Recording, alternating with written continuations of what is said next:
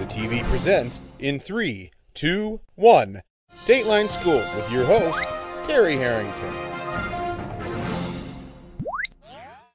Local educators recently had the privilege of participating in the seventh annual 21st Century Learning Symposium to learn how to integrate technology into our schools. And so, all this week on Dateline Schools, we have the special privilege talking to one of the keynote speakers, the division principal from Alberta, Canada, George Couros. And, and George, what was your main message to the more than 700 educators here this week? Uh, I think I think what I really want to try to get across, not just even today, but all the time, is this um, the focus on relationships and how important that is, um, especially in our world today. Uh, when we have, you know, it's really easy for get kids to get information. They get information anywhere, but why schools will always be uh, vital to what we do in our communities is, is that focus on relationships and how we connect with them.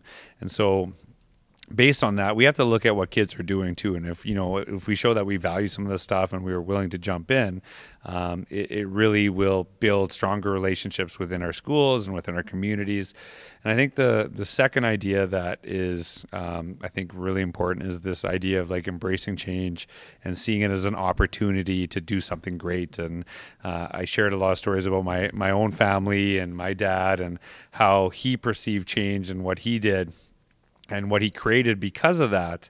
And I think that's what, as teachers, we got to look at all of these changes that are happening in our world as an opportunity to do something really powerful with our students. And um, and, uh, and hopefully they are, you know, up to that challenge and taking that. And we look at as our educators, we want them to be innovators, have that innovator mindset that they're you know, seeing problems that they have, finding their own solutions, developing that, but also connecting with others to, you know, work together and collaborate to create better opportunities for our kids.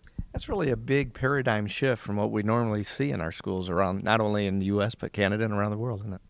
Yeah, I think we've kind of like pushed away the side and say, you know what, this is school and we don't want to do this type of stuff. You know, there's school in the real world.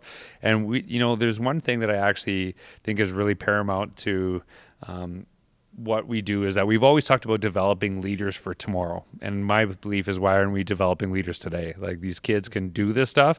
And if you develop them today as leaders, they're more likely to, you know, continue on with that legacy after this time.